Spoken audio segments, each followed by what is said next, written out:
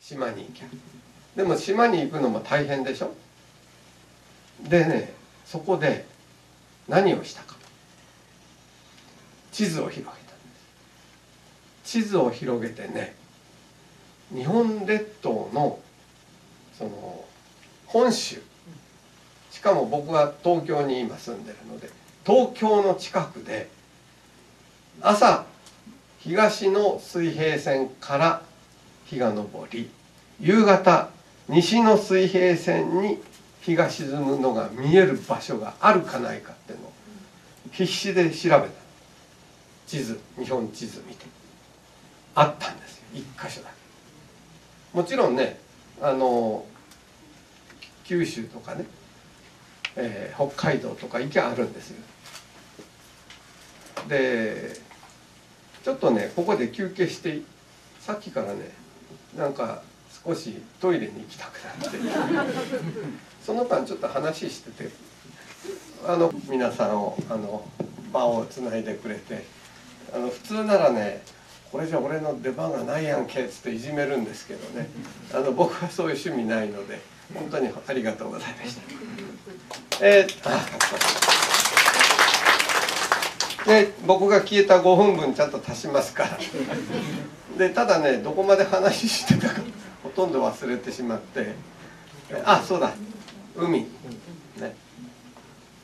あのしかも晴れないと見えないですよ、ね、夕日が沈むのもあの、ね、日の出が日の出も晴れてないと意味がない。でずっとね東京曇ってたんです。あるいは雨も。ずっとね。でふとねふとあの僕こちらの清水さんと一緒で一応武道家です。で清水さんはねあの香取神道流の、えー、浄を使ってらっしゃいます。あの浄浄使い浄土の師範でいらっしゃいますけどね、えー、そのいろんな武芸の神様ってのはねまあ2つあって一つがその香取神宮もう一つはその近くの鹿島神宮。もうこの2つがで鹿島神宮の方が若干一般の皆さんにも有名なのは塚原牧伝のテレビドラマとかで塚原牧伝がねあの鹿島の神様から秘伝を授かってという話が出てるので鹿島神宮の方が一般には有名ですしまあ現にね行ってみたんですがでっかいんですよね大きい。でえー、っと僕はね今まで一度も行ったことなかったあの武道家の端くれでいるにもかかわらず鹿島市神宮も香取神宮も行ったことなかったんです。でどちらもがあのいわゆる房総半島の方にあるんですね。でその香取神宮鹿島神宮がある房総地区の太平洋が東にトン先出っ張ったとこに犬坊崎って名前はお聞きしたことがあるかもしれません。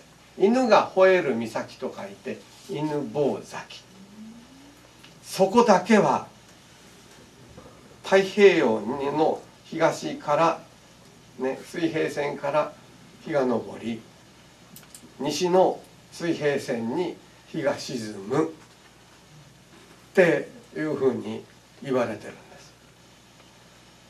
です。しかも香取神宮と鹿島神宮の近く。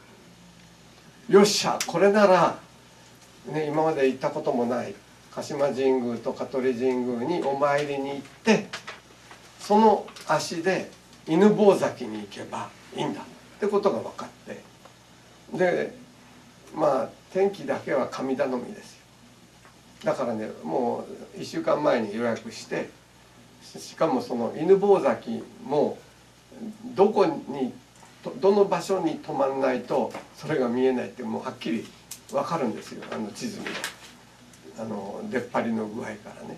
そしてそのその出っ張った一番出っ張った岬のなんか灯台のさらにそのさらにもっと出っ張ったところに一番近いホテルとかいうのをちゃんと予約して。でその日晴れてくれないと意味がない。だからこそそこに行く前に鹿島神宮と香取神宮によってよってね武道家の端くれである僕が初めて香取の大神様と鹿島の大神様にお参りに行く。だったらきっと鹿島の神も香取の神も晴れにしてくれるに違いないと。まあ勝手にね。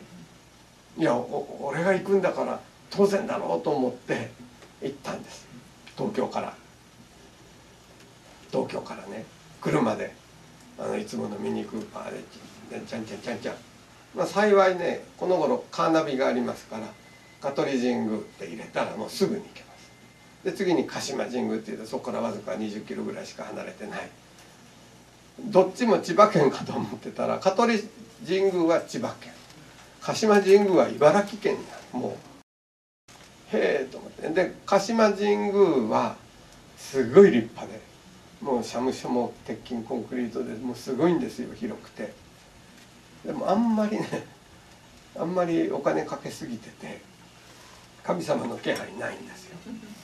それに比べてやっぱりね清水さんがこちらでね香取神道流の浄土をなさってるように香取神宮はねいまだにね古いお社で地味で本当に神様が気配があるんですで一番驚いたのはね、えー、大抵の神社に行ったら僕はあの必ず奥宮まで行くんですけどね。奥宮まで行ってその本殿から奥宮に行く間山なんですけど、まあ、そんなに高い山じゃありません。山の上に4軒家が古い家が。古いっていう意味は立派な日本家屋で、ね、昔のお屋敷っていうような古さじゃなくて どっちかというと終戦後に作られたようなトタン屋根っぽい、うん、そんなに立派ではない質素な家が4軒ありましてね。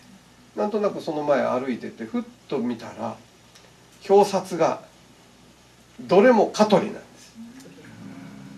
香取ね香取神宮の香取がそのまんま表札にあって4件とも。なるほどと。こちらは